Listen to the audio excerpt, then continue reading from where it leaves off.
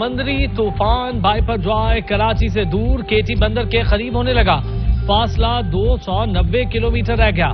कल टकराने का इम्कान। कराची समेत मुख्तलिफ़ शहरों में कहीं हल्की, कहीं तेज बारिश, कई देहात जेरियाब गोलारची में पानी घरों में दाखिल। तेरह हज़ार नफूस की जानों को खतरा। माही गिरों की बस्ती तक पानी पहुँच गया। साहिली पट्टी के मुतासरीन का इनखला जारी। हुकूमत और इदारे मुतारिक। Chairman, NDMA, lieutenant general Inam Haider कहते हैं कि समुद्री तूफ़ान कल सुबह के बाद किसी भी वक्त टकरा सकता है। कराची में अर्बन फ्लडिंग का खतरा मौजूद है। तूफ़ान की रफ्तार 150 किलोमीटर फ़ी घंटा है। विफाकी वज़ीर शेरी रहमान बोली बाइपर जॉय कोई कुदरती अमल नहीं, बल्कि माहौलियाती तब्दीलियों का नतीजा है। तूफ़ान से ठट्ठा, सजावल और बदीन सबसे ज़्यादा मुतासर होंगे।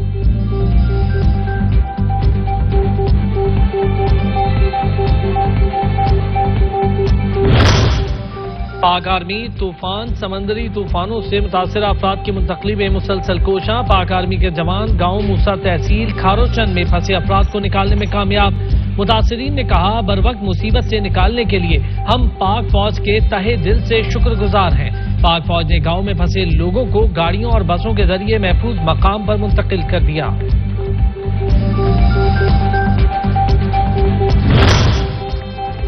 वज़ीर आज़म शहबाज शरीफ ने समुद्री तूफ़ान वाइपर जॉय से निमटने के लिए चौदह रुकनी इमरजेंसी कमेटी बना दी।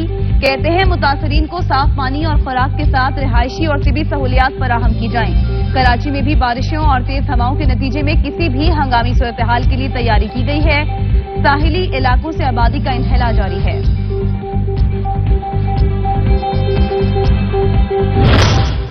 अस्सी फ़ीसद के करीब लोगों को कैंप्स में मुंतकिल कर दिया गया। सूबाई वज़ीर नासिर शाह की मीडिया से गुफ्तु कहा, फौज, नेवी और हमारे नुमाइंदे ग्राउंड पर मौजूद हैं। कराची में भी तमाम इदारे अपना काम कर रहे हैं। शहरियों से समंदर का रुख न करने की भी अपील कर दी।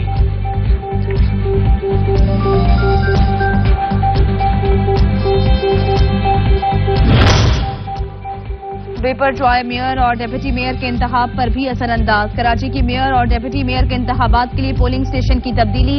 इलेक्शन कमीशन ऑफ़ पाकिस्तान के मुताबिक election of Pakistan arts council के ऑडिटोरियम में होगा।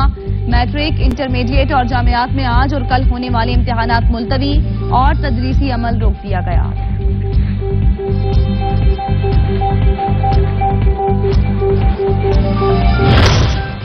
समंदरी तूफ़ान की तबाही का खतरा भारत के सर पर मंडलाने लगा। मुंबई का साहिल के करीब तेज लहरों की जद में आ गया। गुजरात में स्वराष्ट्र और केच के साहिलों के लिए अलर्ट जारी। तूफ़ान से हवा की रफ्तार 150 किलोमीटर फ़ी घंटे तक हो सकती है। तूफानी लहरें जुमेरात की सपैर तक भारतीय साहिलों से टकराएँगी।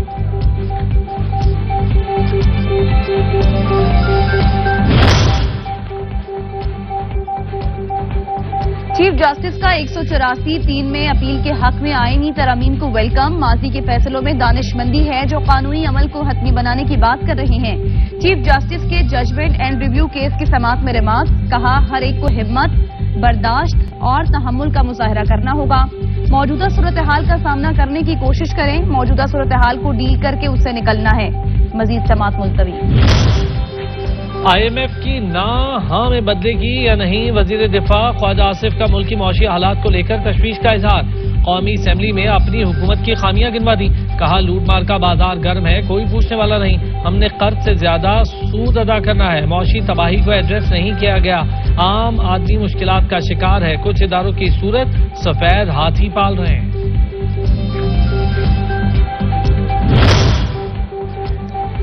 येस बॉस कहने के बावजूद आईएमएफ की नो एंड नो पाकिस्तान और आईएमएफ में नवे इकतसादी जायजे की तकमील पर डेडलॉक बरकरार। 22 जून तक आईएमएफ एग्जीक्यूटिव बोर्ड इजलास में पाकिस्तान का नाम शामिल नहीं है, जबकि वजारत खजाना के हुकाम आईएमएफ हुकाम से वर्चुअल राबते करेंगे।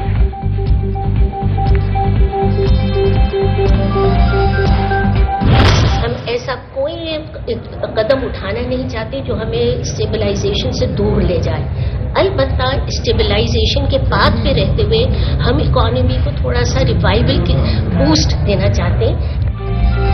आईएमएफ ने बहुत से सवाल उठा दिए हैं। वज़ीर ममलिकत आयशा गौस पाशा की गुफ्तगु।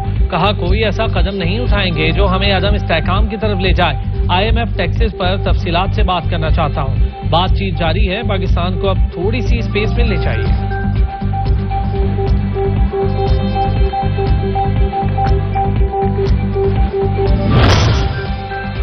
आलमी बैंक ने पाकिस्तान के लिए 20 करोड़ डॉलर्स माली अनाज की मंजूरी दे दी। फंड्स 2022 में सूबे में सैलाब से हुई तबाही के अजाले के लिए दिए गए हैं। जमशुदा अजला में पानी की फराहमी, दही सड़कों और ज़रात के मंसूबों पर फंड खर्च किए जाएँगे।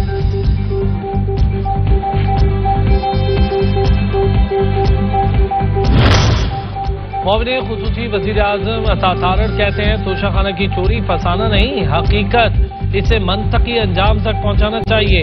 उन्होंने झूठ और मुल्क दुश्मनी के अलावा कुछ नहीं किया। मुझे अब तक 10 अरब रुपए हजाने का कोई नोटिस नहीं मिला। सबक वज़ीर आज़म मुल्क दुश्मन सरगर्मियों में मुलविस थे। वो इदारों पर बगैर सबूत इल्ज़ाम लगाते थे। नौ मई पर सियासत नहीं करने देंगे। वज़ीर आज़म से कन्वीनियर मुतहदा कौमी मूवमेंट और मेंबर कौमी असम्बली खालिद मकबूल सिद्दीकी की मुलाकात। मुल्की सियासी सूरत हाल पर तफसीली मुशावरत और गुफ्तगु बजट में सिंध, बिलखसूस शहरी इलाकों के लिए तरक्याती मनसूबों को शामिल करने। बाइपर जॉय साइक्लोन के पेश नज़र तमाम तर वसाइल को आवाम के जानो माल के तहफ़ के लिए बरुए कार लाने पर। वज़ीर आज़म से इजहार तशक्र